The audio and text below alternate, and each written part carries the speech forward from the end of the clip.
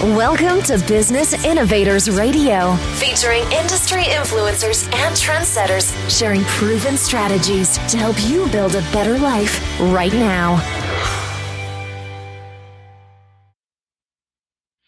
Hi, it's Carol Santella. Welcome to the show. A couple of months ago, I was having lunch with one of my sisters, who for several years back I actually used to see almost daily. And so we got together, and I was hoping and being happy that we were going to see one, each other again. And it was actually now we maybe see each other every four or five weeks. Anyway, we sat down to lunch, and I was thinking how nice it was to finally get together so we could catch up and talk and laugh and connect.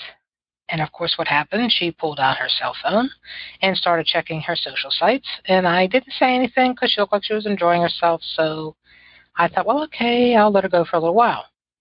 But in the meantime, it happened to remind me of a Saturday not too long before that when a dear friend of mine and myself were out for a Saturday brunch. We found a really great little restaurant and we absolutely didn't use our cell phones. We had a great time together. But when I was looking around that restaurant, I noticed something kind of interesting. It was a Saturday, as I said, and it seemed like a lot of fathers were out with their kids. So I was thinking, well, that's kind of nice because maybe it's dad time with the children, and you know moms get a chance to you know have some time to themselves. But the sad thing was when I looked around and some of the tables were small, fork in one hand, phone in the other. Nobody looking eye contact, no conversation whatsoever. It was the scrolling, the texting, and connecting with that little handheld device, and absolutely no communication with each other. So I was thinking to myself how what a wonderful opportunity that really would have been between that child and that father because both of my parents are gone now, and you know we just don't realize how precious that time is. So the sad state of affairs is that's kind of the way things are in our world today. Well, anyway, did you ever have one of those times when you just know you connected with someone for a special reason or found solutions that perhaps you were seeking and had no idea where they were going to come from? Well, over the past week, I had the great pleasure of meeting Pete Hilcke. He's a private chef from beautiful Melbourne, Australia, and the chef and host of the Australian Seafood Show on Foxtel TV.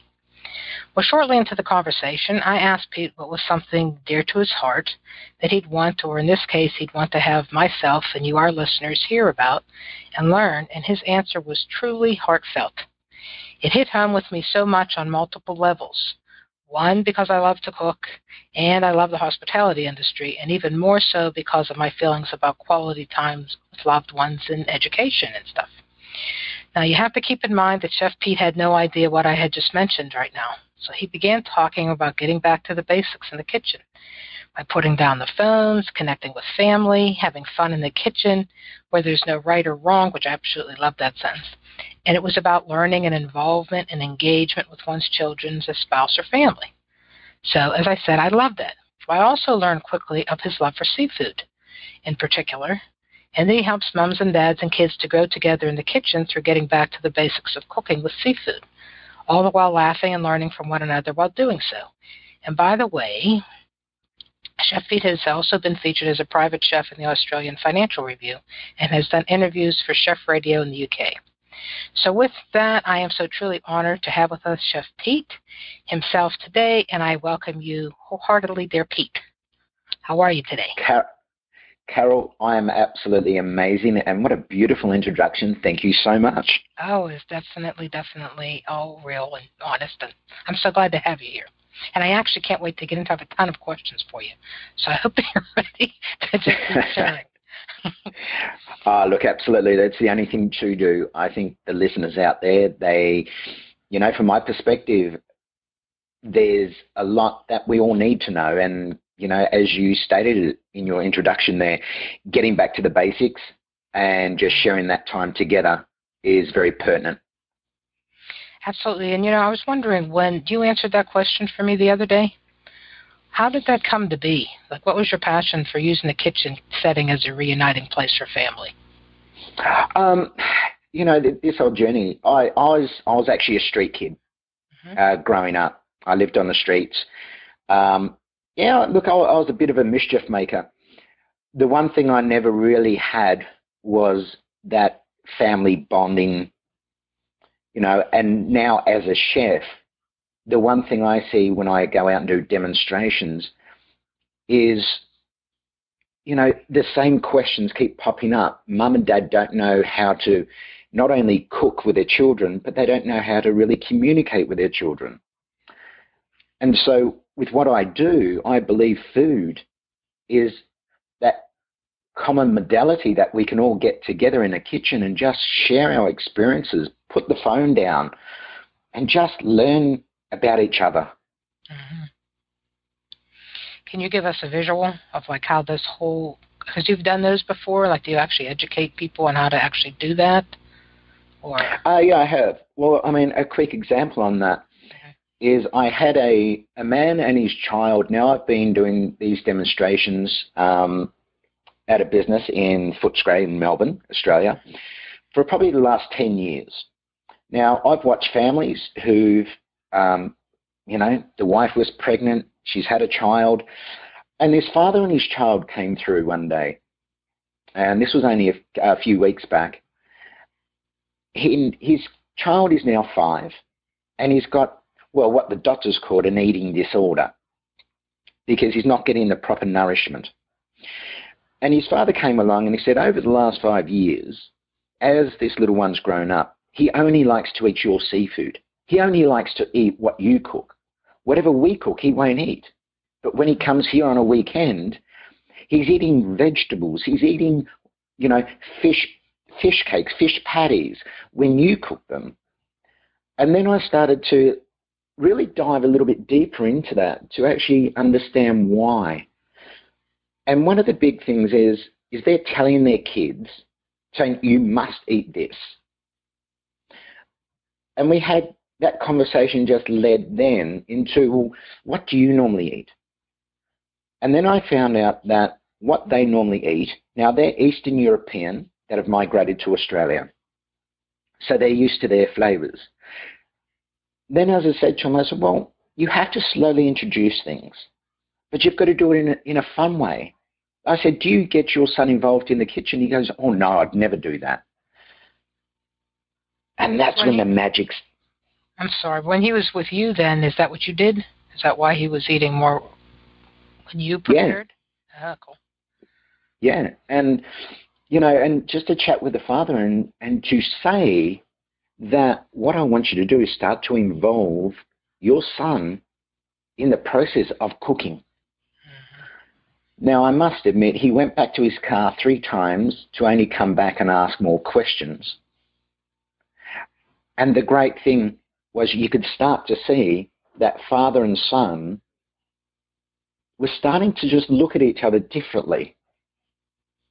Because, you know, the child, he's never eaten carrots, celery, parsley, and they're three of the main ingredients in the fish cakes that are served that day. And the son just loved it. And that's what this is all about. And that's why, for me, I've got I've got a daughter and a son of my own. They love cooking. And but especially like tomorrow, you know, my daughter and I we're having a father and father and daughter day. That's and, wonderful. Yeah, and there's no phones. That's the beautiful thing about it. No phones. And so we can share these these times together because, you know, I, I hear all the time that kids grow up, so many parents and especially fathers, they miss the growing up of their children. And I think sometimes we have to slow down and we've got to get back together as that family unit and, you know, learn, enjoy, find out, ask them what their day was, how it was, what did you do? But then also let it turn the other way to where the kids can ask the the parents the questions, even if it's something that was just so hard to answer. But I love doing this through food. Food, I know, in, in our house here, it just, I call it the engine room of any house. I know exactly what you mean. Yep. It's just, you know, it brings back so many memories even when I was growing up. I mean, it was always family around the table. It was always kitchen. You know, not even so much dining room. It was kitchen. You know, if you have to be even specific about the room, but it definitely or anything around the table would. And just my well, family, well, we're Italian, so you know it's been cooking was just major. And I remember doing things with my grandmother on my mom's side. Um, you know, she made all of her own sauces and just working with the tomatoes and going through that whole process. She made her own jellies and jams and you know, people don't even think about that stuff today. It's so sad. Everything's so commercialized and fast paced and you're right. It's it's we need to spend more time together and that really is such precious time. I have to absolutely agree with you on that. Yeah, and, and I so agree. And, and I think when, you know, coming from that Italian heritage that you have, mm-hmm. I, I think a lot of the Europeans, they, they still do it right because they spend time together. And they, oh, I reckon you have some of the best conversations in a kitchen. You have some of the, you have, you have some of the best screaming matches in a kitchen where not everybody agrees. That is fine, but that's that's what life that's what life's about when I get together with parents and what we talk about is about planning menus, mm-hmm. about, you know, get your children to peel the vegetables, discuss the nutrition. That sometimes what we do is when we peel the vegetables, that nutrition is in that peeling that we've just thrown away. So right. what I like to do, what I like to do, for example, there is I just like to actually, I've got a scouring pad that I just use for food. So instead of peeling a carrot, I actually just rub the rough bits off the carrot, and you're still left with all this nutrition. And having fun. You know, and I, you, you alluded to this before, there's no right or wrong. That's probably one thing I look at in life. Now, I've been a chef for 30 years. I still believe that I will learn so much more from a, a 17 year old apprentice chef that has just come out of uh, culinary school because he's got the latest lessons. He's got the latest, you know, the latest trends, what's happening in the kitchen. And then so with my experience, I take what he's got and I listen and I learn from him and go, wow, this is amazing. And then I like to keep it simple. Like seafood. Seafood is it's the simplest protein to cook, but it's a protein that people have so many problems with. Why is that, do you think? Ah, I think people try to do too much. What I see as a chef is, and being a private chef, I go into so many uh, different kitchens and cook for people. People try, because it's such an easy protein, they try to put too many ingredients with it. And when you put too many ingredients with seafood, sometimes you take the flavor away from that protein and you think, well, that's not right. And when you have that happen to you, you turn around, it's almost an association then because it starts to build up to where you go, well, I had snapper, for example. Now, I think snapper over in over in the United States is very similar to uh, a fish called red porgy. And the amazing thing about that is that if you build that association that no that wasn't nice. I didn't like that because you did too much and then a lot of people that i find they will never cook that again because they had a bad experience. Yep. And that's why i look at it and say okay let's just wind it back keep it simple. You've got a bit of fish salt and pepper. That's it. Just season it cook it. Try that first is it really true when, when you know people say if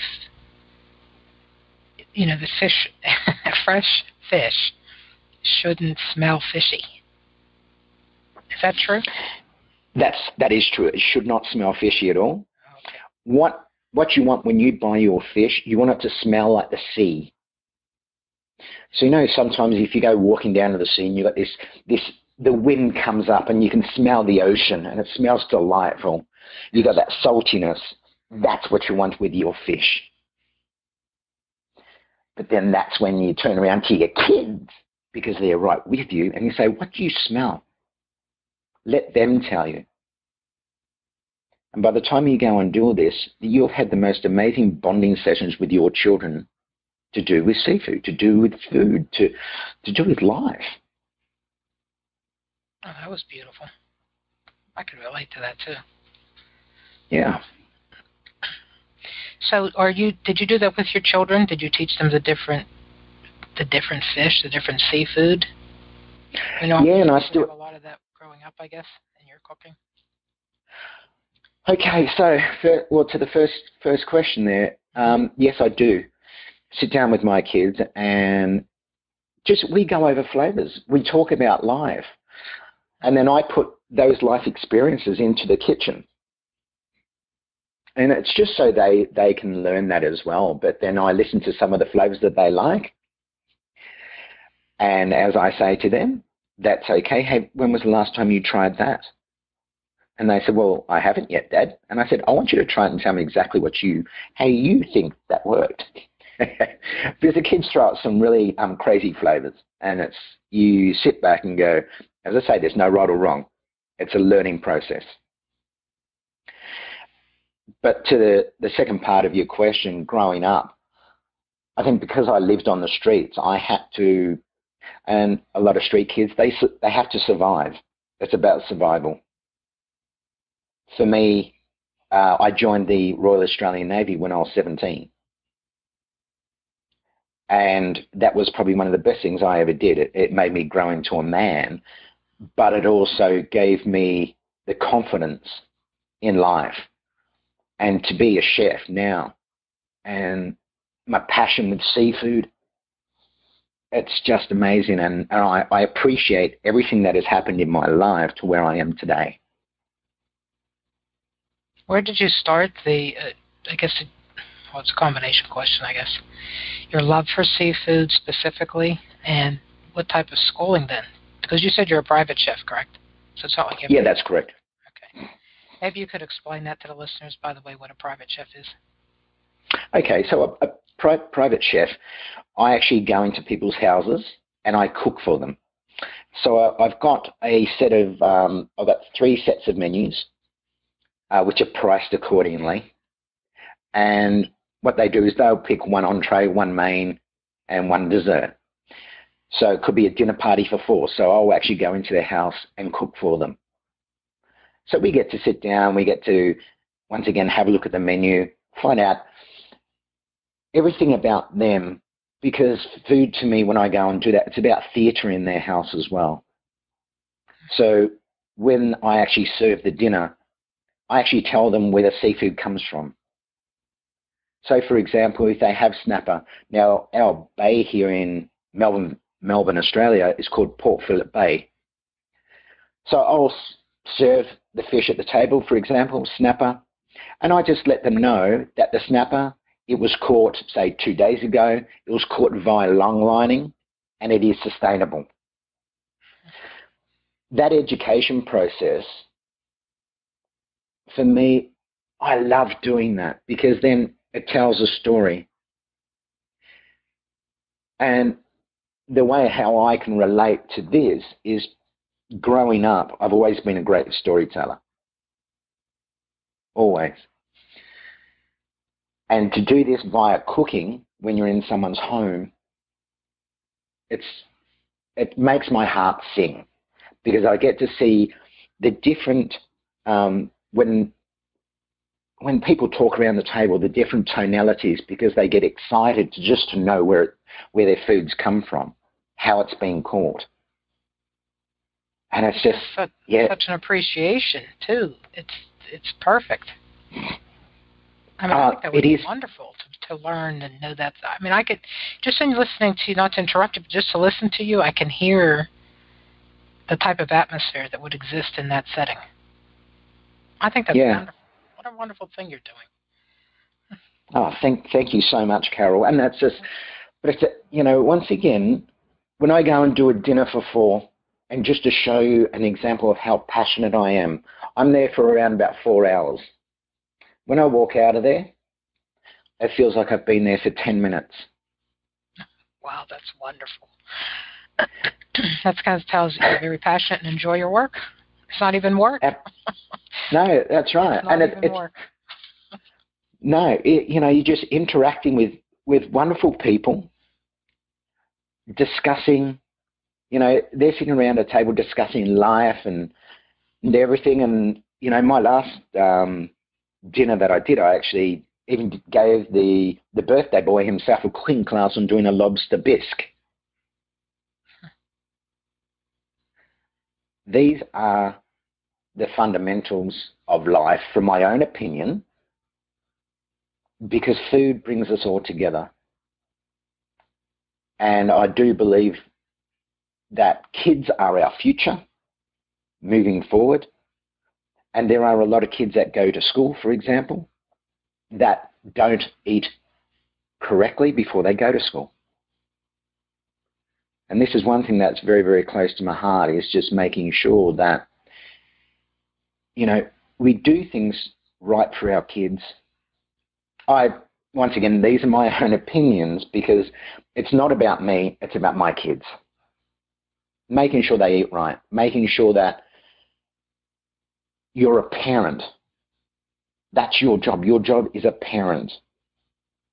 Because my kids are going to grow up to be absolutely wonderful adults. Yes, I am biased. But I also know that in our family unit, we've got something that is so strong. And it's listening.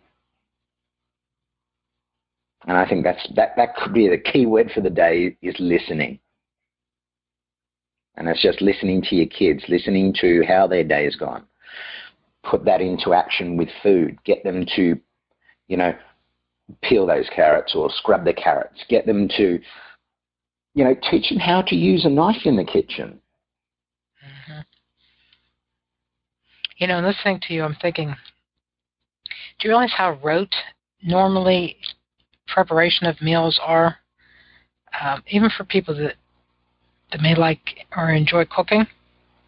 I think that you know, like for one, I I used to watch the the food channels because I just like cooking.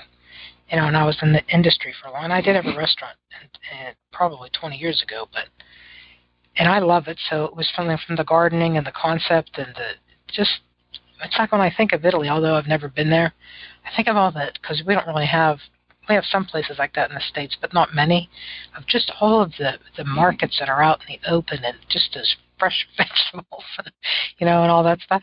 But I'm thinking I've watched a lot of people that just don't even think about what they're putting on the plate. They don't like, okay, well, I went shopping and I did, and we're having this menu. But when listening to you talk, I'm thinking people don't really think like, where did that seafood come from? You know, or what exactly am I preparing and what's the history behind it or anything? You know, what's the nutritional value of it? It's sad because it's just a, it's like a rote action that's just done and there it is. You know, so and speaking of stories, I think that stories in life and business and families are just, I mean, it's a necessity, I think. I really do. I agree. Oh, yeah, it's just, it makes such a difference. Really listening to people. And I, and I am a firm believer about that also, good communication and also listening.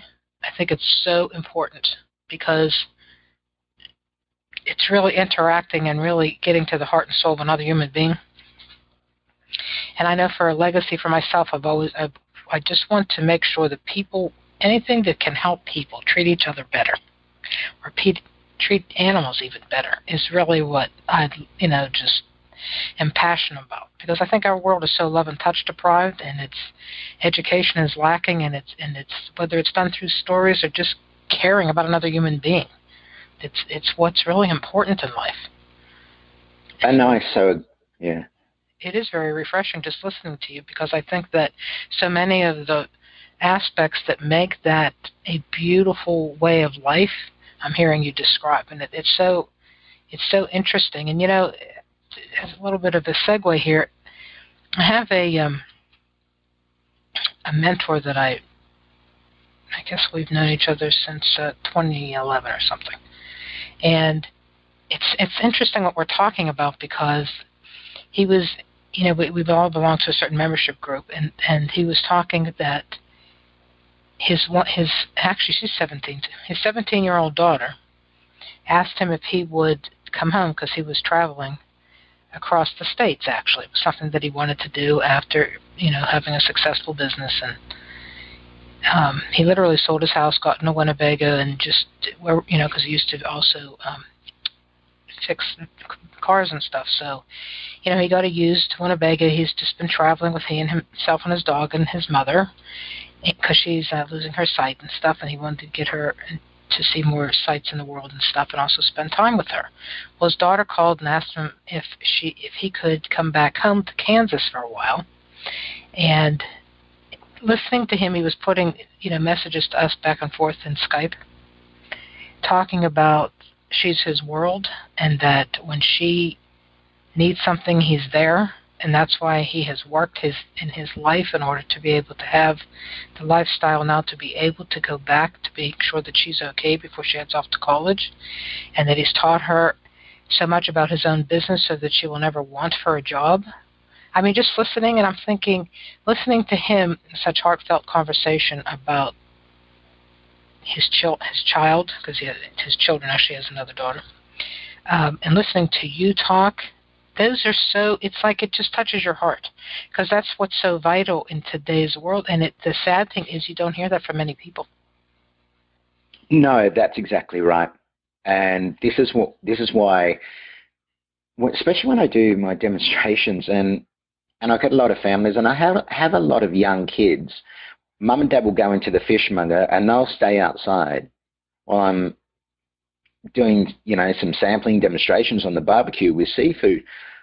And I, and I've had so many kids who will eat this seafood, and they've never touched fish in their life. Mm-hmm. That is because it's I have fun with them. And I think sometimes, you know, as as parents, yeah, you know what? If you have a bad day, have a bad day. That's cool. But you know what? I do believe in one thing that you, when you're with your children, especially at a young age, they take everything in. You know, you, you are that figure to where they will go, well, you know, mum and dad, they, they, they have so much fun in the kitchen. You know, whenever we sit around for dinner, they are really, really cool and we can talk about anything. That is ideal. Mm-hmm. But does that happen all the time? No. You know, all it takes is that wrong. Oh, it just, I think I just really get, I do get passionate about it because I do see it all the time. And I see it from, from parents who don't have that right communication with their own kids. I mean, I, an example, there was a young kid, I reckon he would have been about four or five. Dad had gone into the fish shop to buy his fish. This little boy was sitting, standing outside and we are chatting. Dad said he doesn't eat fish. I said, that's cool. By the time Dad got out, this little boy had polished off about a fillet, you know, probably about a 160 gram fillet of fish. I'm sitting going, I'm, I'm pretty proud of that. Well, some things you do in life and you think, oh no. Well, then dad's come out, he's seen this. And, you know, he said, thank you very much. He, something wasn't right. He dragged this kid across the road by his arm and started yelling at him. Oh, my word. That broke my heart. And I thought, wow, now would I ever change it? No. And I don't. But then what that says to me, and I, and I felt sad because this young child who's at that imprint stage, you know, what, what I see is that he's going to grow up and he's going to say to his children, oh, no, no, you don't eat that. Mm-hmm. You know, he's copying his own father. And I think with, uh, with fathers, in this day and age, especially, there's a lot of fathers who uh, are no longer married. They're paying child support. They get to spend those Saturdays with their with their kids. And you know what? You, know, you can make life easy if you want to. It's a decision. Or you can make it hard. The one thing in life, uh, my kids, I'm separated. Uh, I've remarried. And but the one thing in my life is I keep life easy. I'm passionate about life. And when you keep it easy and just go with the flow, and laugh with people. I, I my, my ex-wife and I, we still laugh together. The kids are great. She is the best mother on this planet for those kids. But it's how you treat your own life. And in a kitchen, it works perfectly. Because you can get all messy.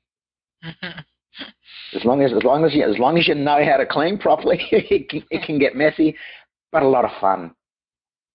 And you've got to laugh. You've got to laugh. You know, I, I wake up every day and I, I go through one particular routine where I, I go through a whole hour of appreciation every day. And as part of that appreciation, and that's for me, that's for my, my wife, my kids, even our own little puppy dog, and just learn to appreciate everyone that crosses my path in that day. To to where I just appreciate Mother Nature for a, such a beautiful day. And that beautiful day, if it's raining, it's still beautiful. Mm-hmm. And, and it's just, yeah. That's why I'm very so passionate about life. I'm so passionate about what I do with seafood, and especially passionate about kids, because you know, if you sit back in the kitchen, you laugh, have fun, learn from them, they'll learn from you. I tell you what, they're going to grow up to be beautiful, absolutely beautiful. We need more of that.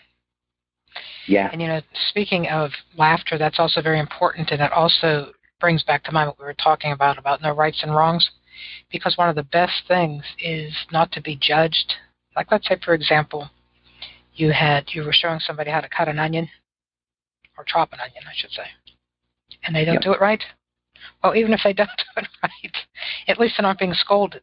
And that's that's another problem with a lot of even when when certain families attempt to do something together, then it's like, well, you're not doing that right, or you didn't listen. You know what I mean? So that was one of the the nicest things that I heard in your answer to me the other day too about there not being rights and wrongs in that kitchen setting, because that defeats the whole purpose. Of course, it does Yep. and talking about laughing, I was wondering, do, do you have a specific, like a funny incident that you remember with either something in the kitchen when you were at someone's home or during one of your shows or? Oh, look, it, it, well, I mean, okay, well, a funny incident. I, look, this is funny to me. It's probably not funny to a lot of people. um, we, we, we, were actually filming on the Australian Seafood Show uh-huh. in a place called T- Tin Can Bay in Queensland and there's this beautiful island off off um, Brisbane called Fraser Island. Now, when we're at Tin Can Bay filming, and everyone would know uh, what a drone is. It's it's basically our producer. He's got a, a camera, and it just it's like on, a helicopter that flies remote control up in the air. And he had that going, and he said to Connor myself, he goes, "Boys, I want you to go out and pretend you're fishing." And I was like, "Okay." So we actually put some lures on. We walked out and we started fishing, and we got a bit deeper and deeper, probably up to our waistlines. Now, then all of a sudden, all these people started screaming. And we're thinking, what's going on? You know, and they're going, do you realise where you are? And I said, Yeah, Tin Can Bay. And they said, we've had lots of rain overnight. Yeah. And this is notoriously busy for bull sharks.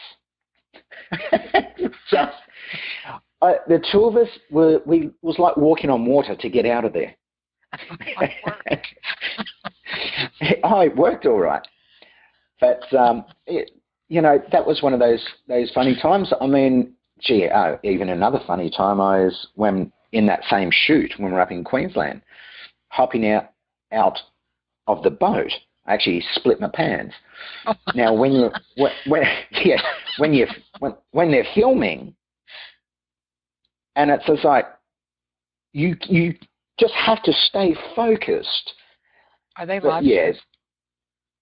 No, they're not live. They're all oh, okay. they're all recorded. but our but I yeah, but I must admit, our producer Charlie, he likes to keep a lot of funny things in there. Mm-hmm. And um, but that particular show, uh, I haven't seen it yet, oh. and they, there's a there's a couple of things. But I mean, this this is uh, season two's just airing on Foxtel now as we speak. Okay.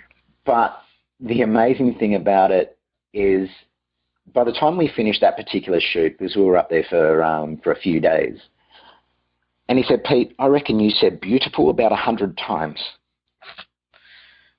And I said, that is absolutely beautiful, isn't it? but oh, well, you know, feeling it. That's all. yeah, absolutely. So you know, when it comes to doing the private the private dinners, I had I was down doing a private dinner in Elwood. It's one of the beachside suburbs in Melbourne, and there was a lady from um, from California. Um, she's you know very much into spirituality, and she was doing a, a, a conference here, and she was there with a few of her friends, and I was cooking the dinner. Now I've cooked this entree, and I've put it all down on the table. And they just all turned around and looked at me, and I said, "Hi, guys." I said, "What?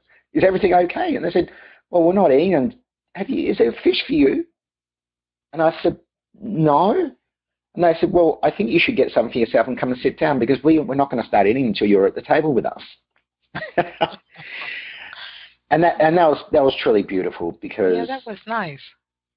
Yeah, it was just lovely, and these are all the times that I really appreciate but then, you know, there's the other times, and, you know, I suppose my sense of humour. I always like to make sure I have fun. I'm very positive. I've gone through so many of the negative things in life, and it's as I, you know, come out the other side. I like to be present. And when I when I say present, it's just like I'm chatting to you right now, Carol. That's all that matters to me.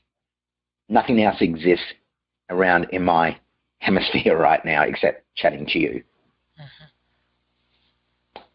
That is one of the key fundamental life experiences that, that I've really listened to, read books, and just got to that stage now to where, you know, to be happy is to be present.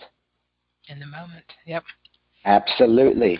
Absolutely 100%. And you know, you imagine doing that with your kids. I did a, I actually did a dinner party um, last week, and it was just out. Uh, it was about a 50 minute drive from where we live, and the father, very very busy man. He turns businesses around, and so he's always flying. And he's got a three and a half year old.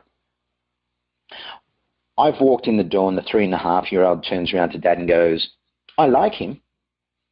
So when I, I got the okay from the three and a half year old, which I think is just beautiful. and and then, you know, the way dad interacted with that with his son, wow, that was off the charts. That was amazing. And it was so good to see. And then, you know, I've said to mum and dad, I said, Well, now what's Michael gonna eat? And they've turned around and said, Well, we want him to have what we're having. I said, okay. Challenge accepted. Now, a three and a half year old, he had uh, sashimi with um, caviar. Wow. He had some cook, cooked yellowtail kingfish. And he had kelp noodles with wakame seaweed that had been rehydrated. Oh, and don't forget the edible flowers as a garnish. He ate the whole thing, ate everything. And then mum turns around. Yeah, I know. And then mum turns around to me and she goes, I don't like you anymore. I said, why? She goes, my son loves caviar. Oh, no. And I, and, and I thought, oh, well, that's life. Sense of habit. So my, yeah, my little gift to the boy is, and I called Michael over and he came over and I gave him this jar of caviar that I had left, and it was about three quarters of the jar. And I said, look, that's your little present from me. And I said, so in your lunch, you can have some caviar. I said, just don't tell people what it is. really? that was uh, wonderful of you, though. Oh, that's a nice yeah, story. yeah, but, and these are all the different experiences. Being a private chef that I get to see, you know, whether I'm filming on the Australian Seafood Show, you know, whether I'm in someone's house as a private chef. The experiences are what I perceive them to be. And that's what I'd say to all the listeners. You know what? Take in all the experiences you want in life. There, there are lessons that we learn, but then have fun, laugh about them. And, you know, never forget them, but once it's done, it's done. Move on to the next thing. Because I do believe, and, and the kids will start to see this, when kids start to see parents having fun, when kids start to see, you know, laughter, what fills their heart, they go to school the next day and go, wow, life's great. Let's go and play, you know, let's get off our phones. Oh, and then they have stories to tell then too, because they enjoy yeah. themselves. So, yep. Exactly, and that's once again, and, and that's what it's like. I mean, we can go and do a, a TV shootout out in the middle of the ocean, which we did on a, on a tuna show. And when people see that, and, and my daughter turned around and said, Dad, that's amazing. Mm-hmm. As I said to her, I said, that is so much fun. And then, then you get to tell the story of how the tuna's brought into the ship by spraying the water with the seawater so it acts like little pilchards or sardines and so they come to feed. And you've got these two guys on this one big who've got these uh, two like big fishing rods each and both lines come together to make one. Because these tuna can be up to 150 kilo. Wow. And so they spray in the water, the tuna come in, they grab it, and then they they bring in the tuna. And then they the way they the way they actually well, once your tuna's in board, yep, they have to process the fish and they do it very sustainably and very quickly. And when I tell my kids, when I told my daughter that story, she's just gone, wow, that's amazing. these are, you know, and that's life, Carol. That's Precious life. Moments. Absolutely. I can tell you have an appreciation from what's in the sea too. Literally. Uh, uh was... Yeah, I do. Yeah, a massive appreciation, and you know, as I said, I, I joined the Royal Australian Navy when I was 17, and I became a chef on board a Navy ship. I did my um, did my cooking course in the Navy, and from there, my appreciation came. We were in the South China Sea, and the water was like glass. It's like you're sailing on glass. Way over in the distance, there was a rain squall coming, and it was like, wow, this is the most magical sight but then all of a sudden, what, out of the water comes flying out this killer whale. Oh my. And I've just gone, wow, that is amazing. And he went back down, this rain squall came across, and you could just see the, the rain hitting the water. And just like, that was a totally amazing experience. And so that was one of the experiences. But the other one was there's a fish called a sunfish. In the Southern Ocean, between, uh, especially between Australia and New Zealand, the sunfish, they're massive. I don't know if you've ever seen one. They're like a big flounder. But when I say big, they can be like two meters in circumference, to, or oh, even more. Even more. They are they are very big fish. And but to see see this big this big disc just floating on top of the water, and you think, what is that? And then it's not till a few years later that you learn out it's a sunfish. And you, you just get to have an appreciation for what's out there.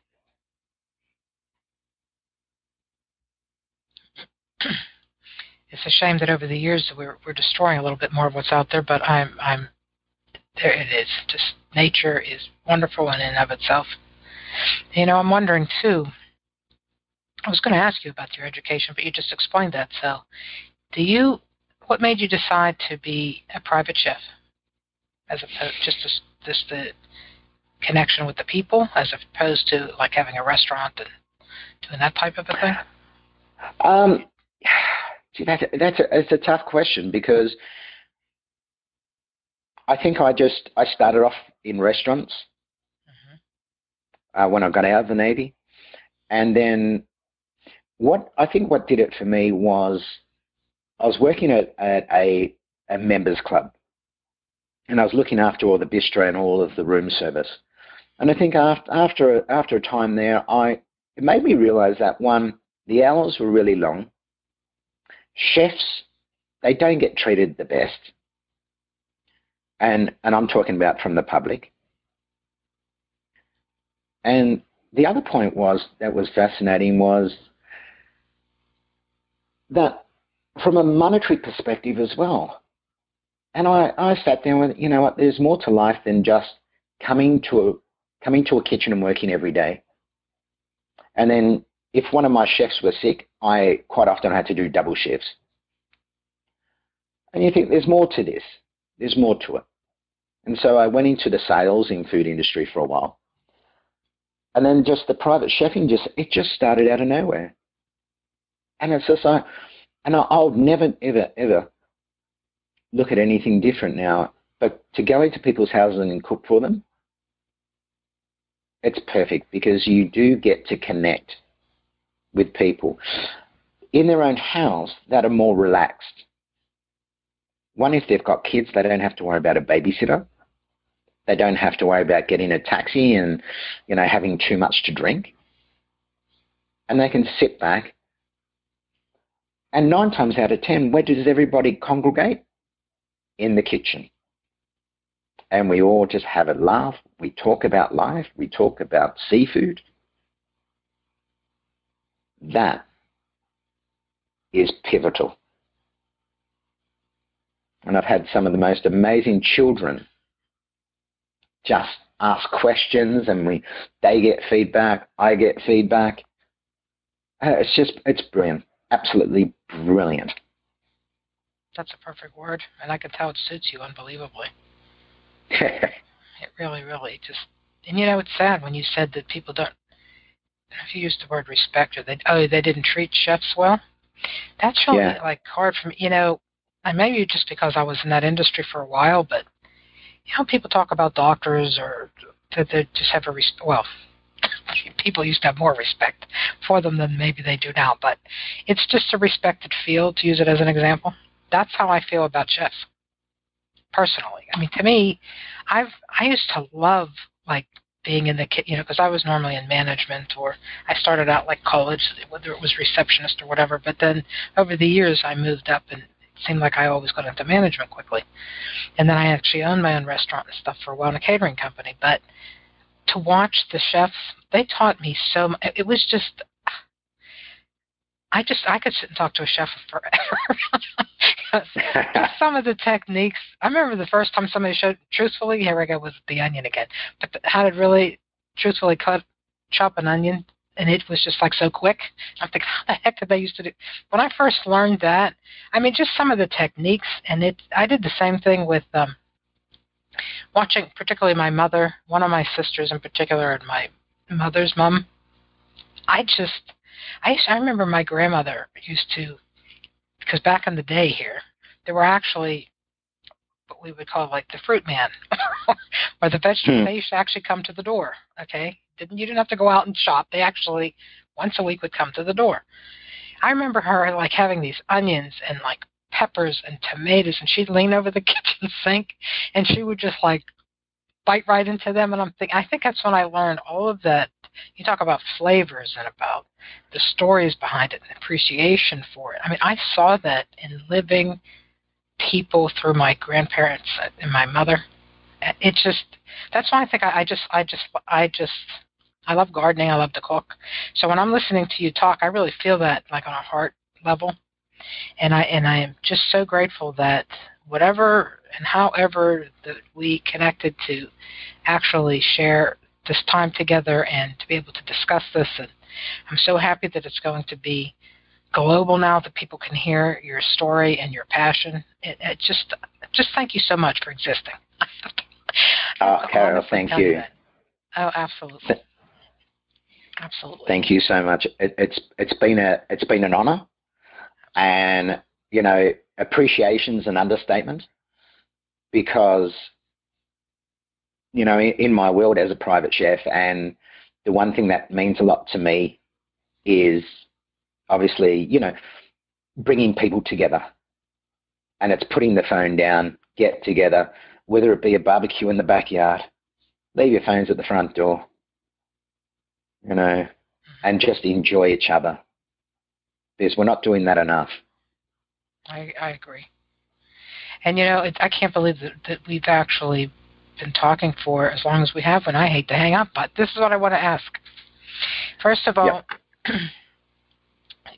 please share with everybody what is the best way. I mean, can anybody watch your show first of all before I go on to ask you about your contact information? Is it is it possible to see anything on YouTube or is the show yes. live? Would it be live here in the states at all, or anything? Uh, okay, the show's not live in the states, but it is on it is on YouTube. Oh, so yeah, so if you were to type in the Australian Seafood Show, okay. you can you can actually uh, we've got our website up, so www.theaustralianseafoodshow.com, and you can actually go and uh, have a look and we've got all of season one on there. And it's very it's very educational from a seafood perspective in Australia. That's perfect. But yeah, very educational, and it's it's a great show. And so season two will be up online probably in the next in the next few months. So we're going to wait until um, season two finishes on Foxtel, and then we shall put all that up on the uh, website then. Okay, and then share with everybody, like your website or emails or whatever you want to share. As far as uh, yes. Okay, so from my perspective, my website is www.petehilcke.com. Um, if you do, do want to, sorry? Can you spell that for people, please? Ah, yes. So it's P E T E H I L C K E dot com. And if anybody does want to send me an email, you can send an email to info at petehilcke.com. So P-E-T-H-I-L-C-K-E dot com. And any social? Okay, social media. Uh, on Facebook, Private Chef Pete Hilcke. Once again, H-I-L-C-K-E. Okay. Okay, and is there, well, I know for myself, I could go on talking for forever with you, but is there anything in particular on the subject that, that we came together to discuss today that you'd like to add that maybe we haven't covered? You know, I, I think we've covered everything, Carol. You know, I just want everyone probably to slow down in life. Think about what they're going to say, learn from each other, and laugh, have fun and don't take it too seriously. That's it. That's beautiful. Well, I want to thank you so very, very much. Maybe you'll come back and join us again. Oh, I would be honored to. Okay, you make it. I believe it's daytime there. You make it a great day. yeah, and you have a lovely evening. Okay, thank you. And now, all the listeners, here's what makes your heart happy and your soul smile. Take care. Thanks for listening to Business Innovators Radio. To hear all episodes featuring leading industry influencers and trendsetters, visit us online at businessinnovatorsradio.com today.